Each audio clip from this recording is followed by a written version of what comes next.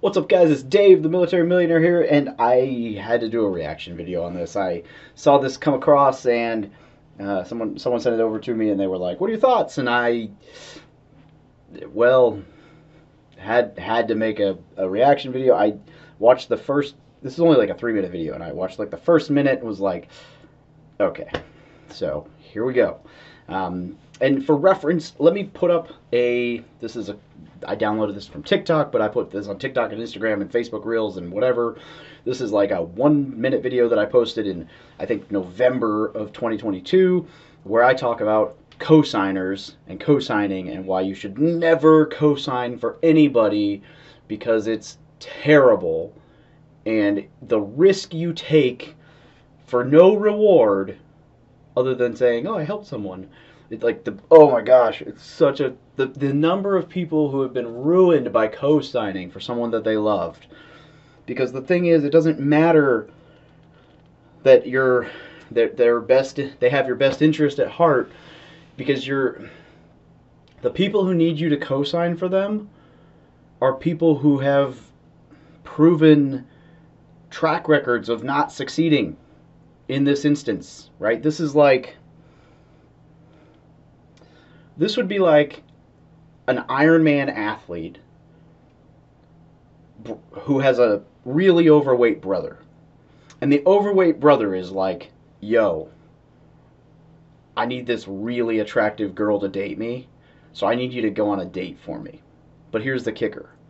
Uh, if she finds out you're not really me, they're going to behead you. So, like, you're just going to have to keep pretending and hope that you don't mess this up. No big deal though, because like in the end, I'm eventually going to lose the weight, and then we'll just be able to switch places. And if that works, nobody will ever know. And if it doesn't work, well, I won't get in trouble because they'll never know I existed. So, like, I know that's a terrible analogy, but like, dude, there's no reward for the person who's co-signing. Like, there's not. They don't. They don't get anything. They're co-signing. But the risk is there. They take all the risk. A- anyway, so I'm going to show the, the clip that I made about why this is bad. And then I'll show the clip. And for reference, this is not me just saying I'm going to go tack ADPI and active duty passive income and whatever.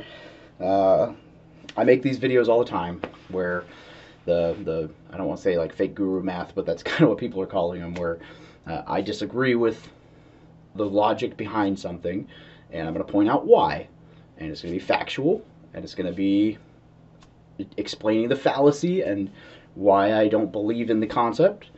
And it would be the same video regardless of who produced it. So I'm just throwing that out there. Here's why you should never co-sign, and it's gonna hurt. Rip the band-aid. Look, I don't care how much they love you. I don't care how much they have your best interest at heart, because yes, it doesn't matter.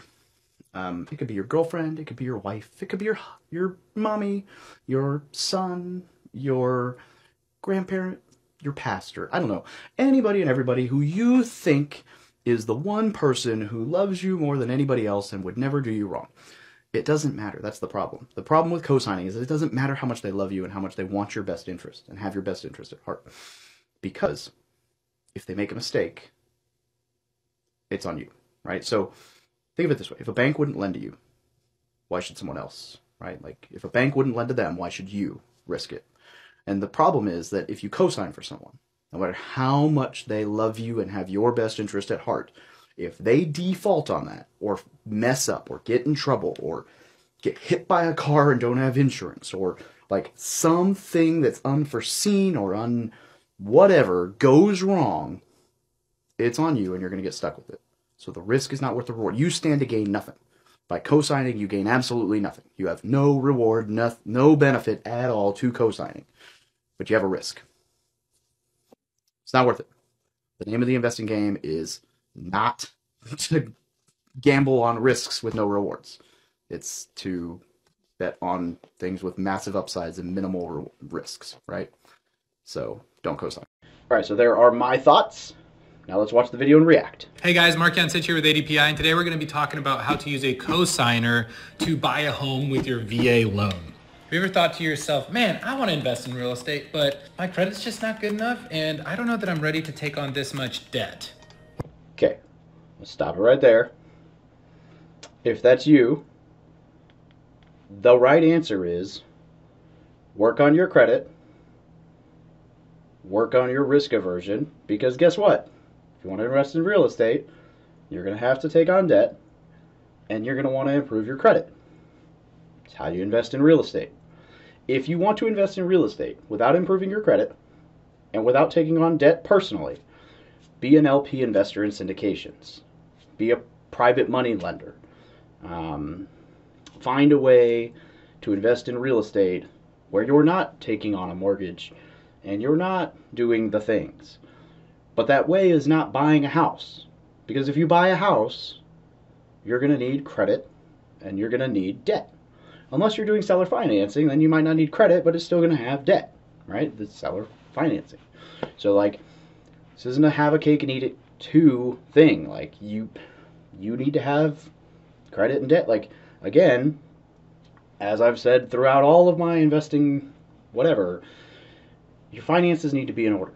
If you do not have your finances in order and you think that buying more real estate to get your finances in order is the answer, you're setting yourself up for failure. Take the time to pause and build that foundation, then go in on real estate. Having bad credit, terrible debt, not being able to take on more debt, bad financial foundation, and then buying real estate in hopes that it'll fix your foundation is setting yourself up for failure. It, it's just not a good mix. Sorry. Well, that's exactly where cosigners come in. So if you're someone in that For the reference, this means bad credit, don't want to take on debt. Let's ask somebody else to say, hey, my credit's bad, I don't want to take on debt. Can you take on the debt for me and sign saying that my credit sucks so you're you're good with covering for me? Yeah? I'm gonna have the house, I get the reward, you're gonna take the risk, so if I default it's on you. Cool? Yeah, we're good? Cool, thanks. Alright.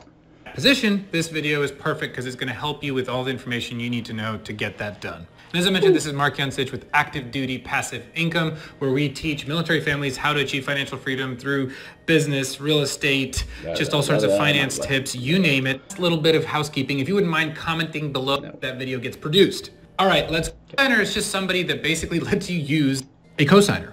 A cosigner is just somebody that basically lets you use their credit. You can even think about it as if they are loaning you their credit.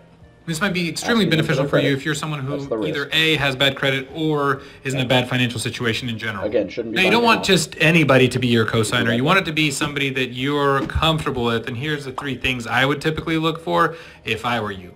One, make sure that it's somebody just you trust, like point blank. Two, make sure they have good credit, duh. And then three, make sure that it's somebody that they genuinely want to help you, okay? It's not somebody that's going to be For reference, the person in this scenario who should actually be doing the vetting is the cosigner. The person who's getting cosigned for could just run around screaming, "Will somebody please cosign for me?" Because anyone who says yes doesn't. There's no risk for the person being cosigned for. Once they sign that, you're good. You can basically do whatever. The person who's co-signing is the one who needs to do the vetting. That's the person who's going to get stuck and screwed if this goes south. Be begrudging you or asking you a million questions after this all happens. Now, the reason why you want it to be somebody that you trust is because they are going to be providing their own financial documents to acquire the loan for both of you, essentially.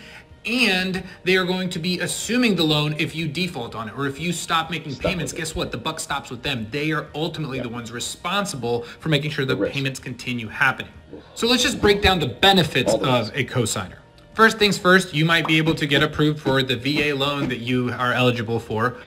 Note that he said making sure the payments still happen. It, it- he omits, and I know this is not his intent, um, because it's maybe we get to it in a minute, but omits. It makes it.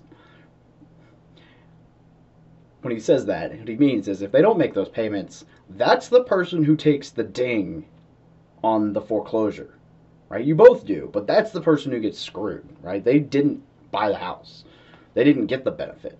They either make the payment or they're signing to help you ends them on the foreclosure as well. which is huge. That's a very, very big benefit. And secondly, a cosigner might help you get approved for a larger loan. Now, I'm not talking about getting into debt, bad debt on a bigger loan. I'm talking about actually acquiring more good debt because you're buying a home that you can potentially house hack or it's going to have a big return on investment when you make it a rental down the road, all those types of things. So this is Again, that only makes sense if the property itself actually makes sense. The idea that you couldn't qualify for the loan, somebody else can help you qualify for the loan via co-signing, therefore it's good debt just because it's a house. There are ways to do it without a co-signer. Again, if your finances aren't ready to buy a house, then buying a bigger house just because the numbers might make sense down the road, I don't think constitutes good debt. Sorry. I, I think that if you're not ready to be buying a house and the bank is not willing to lend to you without someone else's signature, then you should probably just hold off. You can house hack without buying.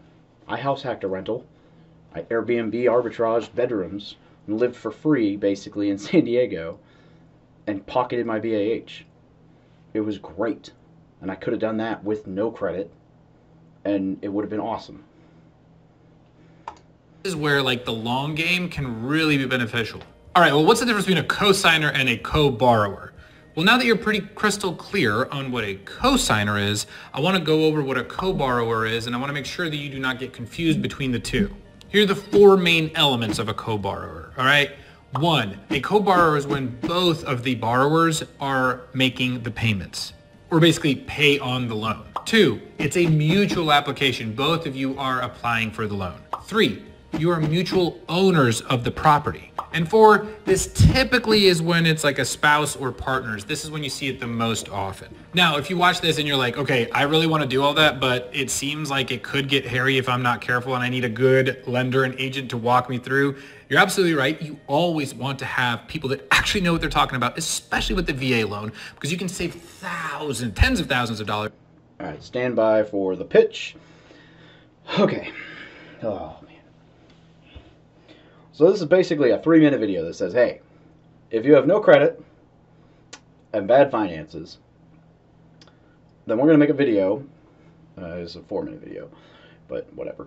Uh, hey, we're going to make a video for people with no credit and bad finances to teach them how to convince people to co-sign for them.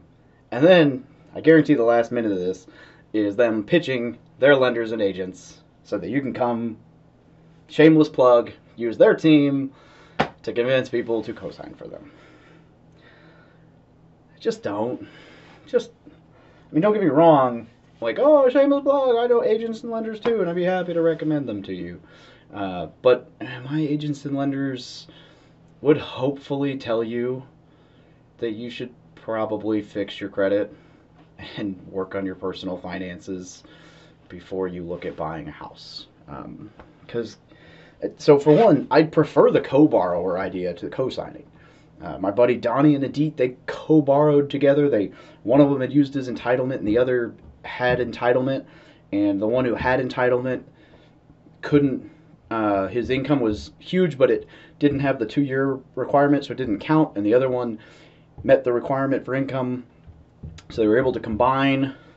Bought a fourplex in Imperial Beach made a ton of money, crushed it in the San Diego County area, and they were able to do that together with one of them having entitlement, one of them not, one of them had the other one having income and not, and they came together, bought a, a triplex, I guess actually, and crushed it, and that was awesome.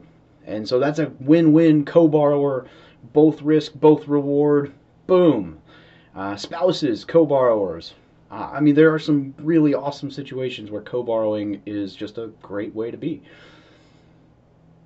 I every now and then you hear of a situation where people co-signed and it was great.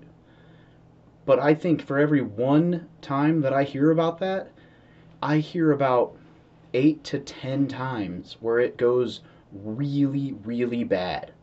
I mean, it's super skewed, right? And I'm sure that that means there's probably a few times where it goes right and nobody says anything. But I'll tell you, I made that video. Well, hang on. Let's find out. I'll just go through my comment thread. Let's go to the Instagram. Let's do this. So that was in November. So let's just scroll back to November. Eh? November. Eh? November real quick. Hang on. Okay, so there's 12 comments. Shit, I'm not co-signing for anyone, not even my own mama. Straight facts. That's the truth. Happened to a friend of mine. Thank you for this one. People need to know. And yes, it happened to me too. All right, three comments on TikTok, all say the same thing. Like the messages that I got on Instagram were the same thing. I mean, it's just it is what it is, right? There was nothing in there. Not a single one of those like ten comments was like, "Oh, you're wrong. This worked out great for me." Um, so, now, granted, that was a small comment pool, but that was 10 comments and they were all bad. So, I'm just saying, is what it is. Again, not in tech, but here's the thing bottom line. Look, I don't like when videos are made. Yes, the intent, I'm sure, is to teach hey, if you're in a really bad spot, this is a way that it could work for you. And they're right, that you could co sign or get a cosigner in order to utilize VA loan. And yes, the VA loan is an incredible benefit, and there are times where you could use it and you could come on top, come out on top, and it could be great. But the overwhelming majority of times that people co-sign it ends up really badly for one person or another. And I I just I can't the video just to me seems like a setting setting up people. It doesn't it doesn't seem genuine. It seems like it's setting up people for failure by trying to say, hey, if you're not really in a position to buy a house, convince someone to co-sign for you and use one of our lenders or agents, and we'll help you out. And then hopefully that person that you co-signed for doesn't get burned. But we'll figure that you know that'll be your problem, not ours. And I'm sure that's not the intent. I just I had to make the video to keep my conscience clean. So, is what it is. Uh, hopefully you guys got something out of this, but this is my stance on co-signing. Again, the VA loan's amazing. Happy to introduce you agents to lenders if you'd like to use it. More importantly than that, happy to help you succeed as a military real estate investor with the largest community of other military real estate investors in the world. So let's go crush it. Have a great day.